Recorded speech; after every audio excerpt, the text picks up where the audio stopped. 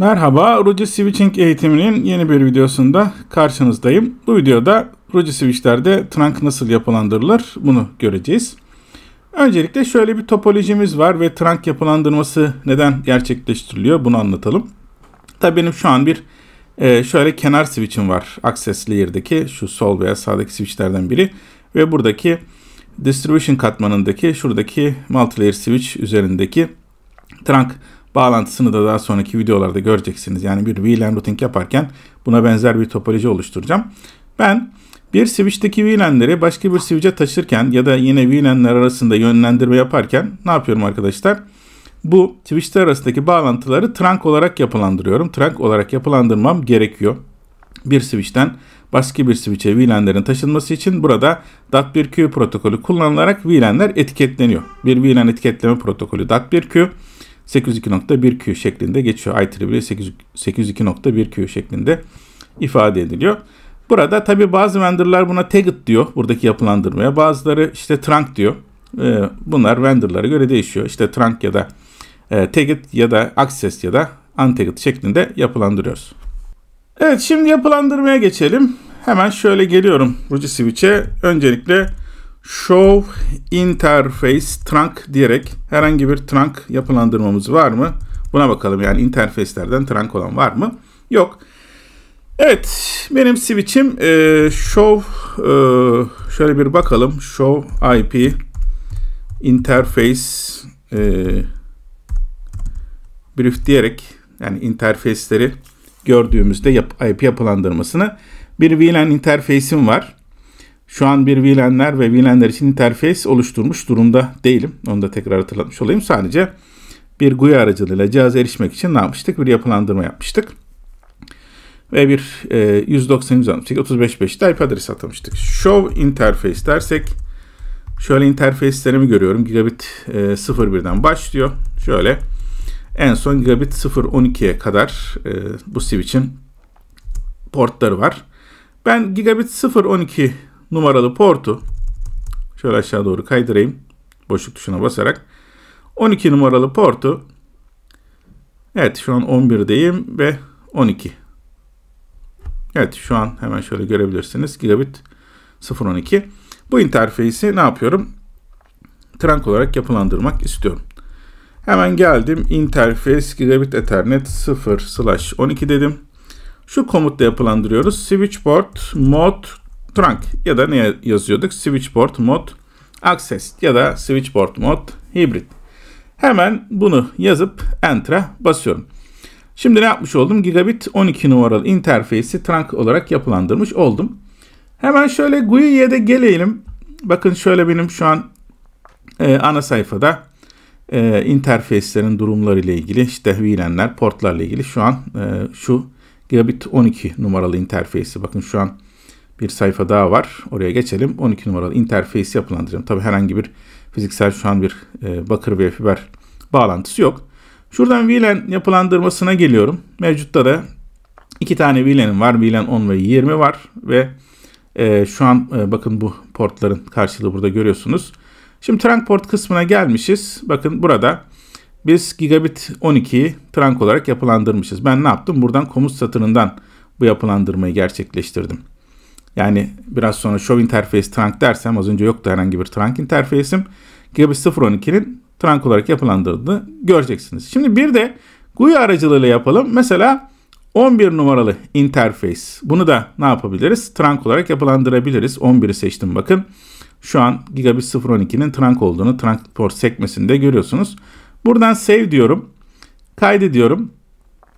Evet kaydettikten sonra bakın 11 numaralı interface'te trunk yaptım. Ne yapabilirim? Yani böyle bir iki switch arasında iki tane kablo çekip ileride göreceğimiz bir Ether Channel LACP yapılandırması gerçekleştirebiliriz. Mesela 11.12'den diğer switch'e bir aplik bağlantısı yapabiliriz. Şimdi hemen şöyle geleyim.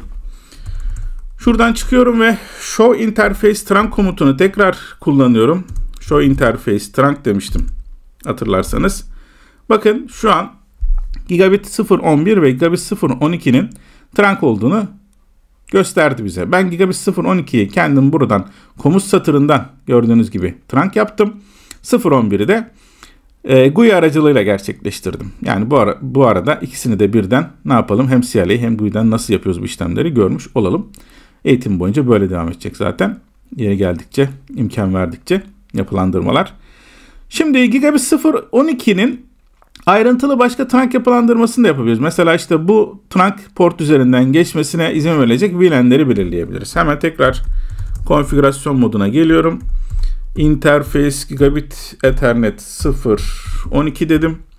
Switch port trunk Elevate VLAN Mesela 10 diyorum sadece yani iki tane VLAN'ım var hatırlarsanız 10 ve 20. Ama ben bu trunk'tan sadece VLAN 10'un geçmesini mesela ne yapacağım? Yapılandıracağım. Evet yanlış yaptık. Hemen şöyle soru işaretiyle görelim. Şimdi burada normal zaten yapılandırmada bakın e, dikkat ederseniz VLAN liste all diyor. Yani mevcut bütün VLAN'ler ne yapıyor? Burada ge, ge, e, geçmiş oluyor. E, yani buradan 10, 20 hepsinin e, geçmesine izin verildiğini görebilirsiniz. Buradan ise biz ne yapabiliriz? Bir e, e, add veya e, remove'la ya da işte all diyerek ya da hariç tut diyerek ya da only sadece şu VLAN diyerek yapılandırabiliriz. Evet. E, VLAN on şeklinde değil only mesela şeklinde yapabiliriz. Mesela ne diyelim? Only on dedik. Yani sadece VLAN onun buradan geçmesine izin ver. Hemen şöyle buradan tekrar çıkıyorum. Show Interface Trunk diyorum. Evet gördüğünüz Gigabit 0.12 interfeysinden sadece VLAN 10 geçmesine izin verilmiş. Allowed yapılmış. Diğerinde ise all tümü diyor. Ha bu arada tekrar şu konfigürasyon üzerinde değişiklikler yapabiliriz. Bu interfeyse girip switch port trunk allowed VLAN diyerek ne yapabiliriz soru işaretiyle bakın. Add diyerek 20'ye ekleyebiliriz. Remove diyerek 20'yi çıkarabiliriz. Remove diyerek onu çıkartabiliriz. Buradan da yine bu işlemleri gerçekleştirebiliyoruz. Yani VLAN eklemeyi veya VLAN çıkartmayı yapabiliriz. Şimdi bir başka trunk yapılandırması var. O interface aldığında switchboard trunk native VLAN. Bu yapılandırma arkadaşlar gerçekleştiriliyor. Mesela ben native VLAN'i varsayılan VLAN olan Genelde bütün vendorlarda böyledir. Default VLAN VLAN 1'dir, native VLAN VLAN 1'dir. Bundan farklı bir VLAN'e taşımam genelde tavsiye ediliyor. Ama tabi bunu yaptığımızda sorunlarla da karşılaşabiliyoruz. En güzeli sahada edindiğimiz tecrübelerdir. Her, her ne kadar best practice dese de e, bir kullanım kılavuzunda ya da yapılandırma kılavuzunda bize örnek yapılandırmalar tavsiye etse de vendorlar. Sizin tecrübeniz, sahada edindiğiniz bilgi e, onların önüne geçer. Onu da söylemiş oldum. Yani native VLAN'i değiştirmek bir sorun e, yaşatıyorsa, native VLAN'i normal default'a çekmek yine sorunu çözüyorsa tabi bunun da neden olduğu bazen ne yapabiliyor arkadaşlar? Çözümü bulunamıyor. Ama bir e, çözüm olarak bunu yaptığınızda ne yapabiliyorsunuz? Karşılaşabiliyorsunuz. Yani native VLAN'i tekrar eski haline getirmek. Bunu da bir dipnot olarak belirtmiş olayım. Ama best practice olarak native VLAN'in değiştirilmesini tavsiye ediyor bütün vendorlar. Bunu da yine önemli olarak söylüyorum. Çünkü VLAN double tagging ve VLAN hopping dediğimiz saldırılarda Buradan yürüyor hackerlar. Yani normal default VLAN 1 üzerinden bir double tagging dediğimiz çift etiketleme saldırısıyla burada, buradan giriyorlar bir diyelim ki VLAN'e oradan başka bir VLAN'e geçiyorlar. Şimdi buranın konusu değil bu. Şimdi VLAN'in buradan native VLAN'in değiştirileceğini tekrar veya buradaki komutla mesela 99 diye bir VLAN oluşturursunuz. Onu da native olarak yapılandırırsınız. Dersiniz ki name native. Daha sonra buraya ben 99 yazarsam ne yapmış olurum? bu trunk'ta native VLAN'i değiştirmiş olurum. Ama tabii şöyle de bir kural var. Karşılıklı olarak bunların da eşleşmesi lazım. Yani bir switch'ten gidiyor karşıdaki switch'e mesela diyelim ki omurga switch'e o tarafta da native VLAN'in aynı olması gerekiyor arkadaşlar. Onu da söylemiş olalım. Şimdi tekrar GUI'ye dönelim. Mesela burada ne yapmıştık? Sadece Gigabit 0.12 üzerinden VLAN onun geçmesine izin vermiştik. Hemen şöyle gelelim. Ee, VLAN ayarlarına burada bakın tekrar gelebiliyoruz. VLAN settings sekmesinde. Gördüğünüz gibi e, VLAN 10 e, arkadaşlar 11 12'den geçiyor.